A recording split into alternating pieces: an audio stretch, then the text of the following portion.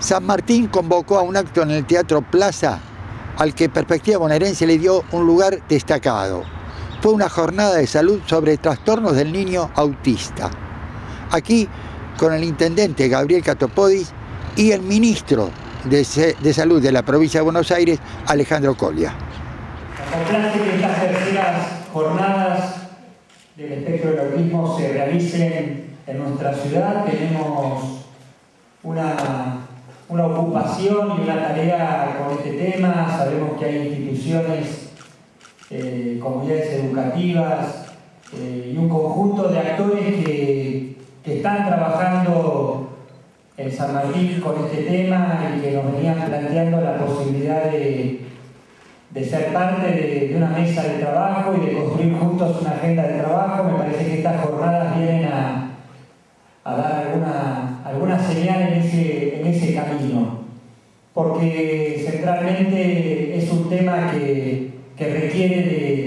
de, una mirada conjunta, de una mirada interjurisdiccional, porque es un tema que, que requiere además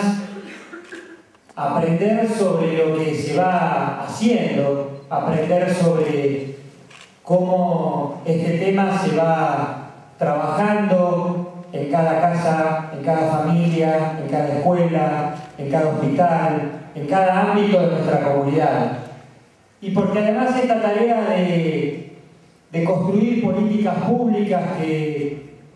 que puedan contener, que puedan facilitar, que puedan generar condiciones crecientes de trabajo, de inclusión, de esta problemática, de esta temática, me parece que, se hace con los actores, se hace con, con los directores de los hospitales, con los directores de los centros de atención primaria, con los directores y toda la comunidad educativa, con las instituciones que vienen trabajando con este tema y fundamentalmente con los padres, con la comunidad. Y eso es lo que estamos haciendo, estamos tratando de hacer con este programa que coordina la doctora Ávila y que venimos recorriendo gran parte del conurbano y la provincia y que entendemos que día a día vamos a encontrar que tanto los, distintos poderes del Estado, porque estas son cuestiones que no alcanzan solamente a la decisión del Ejecutivo como política pública, sino que se necesita de la legislación vigente para que termine con esa idea del circunstancial decisor sino que tenga sustento a través del tiempo, como debe ser una política pública, y también nosotros por el otro poder, que es el poder eh, judicial, que nos acompañe en este tipo de, soluciones, que lo venimos desarrollando también en el ámbito de la salud mental, donde hace poquitos días fue reglamentada una ley que va a ser eh, una ley que permita a los que atraviesan trastornos mentales tener una cobertura también, como, como lo planteamos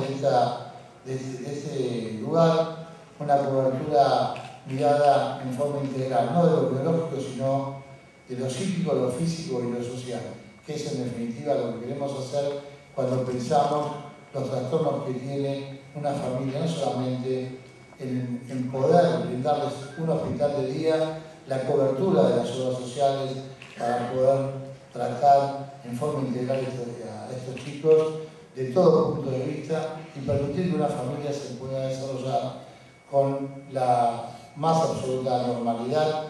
entendiendo las, circunstancias que a veces rodean a estas, a, estas afecciones. Así que decirles a todos ustedes que los felicito, el sistema educativo para nosotros es una herramienta fundamental para el futuro, para el futuro de todos los argentinos, no solamente en la salud, sino en todo lo que hace al bienestar de las personas.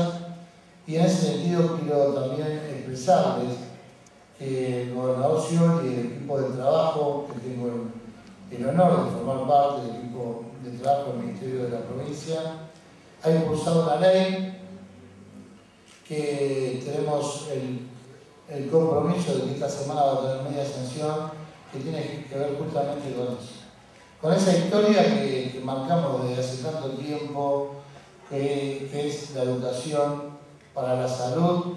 la comunicación y la salud en las escuelas y que va a generar seguramente un cambio fundamental en lo que estamos trabajando, que es cambiar ese paradigma de atender la, enfermedad por atender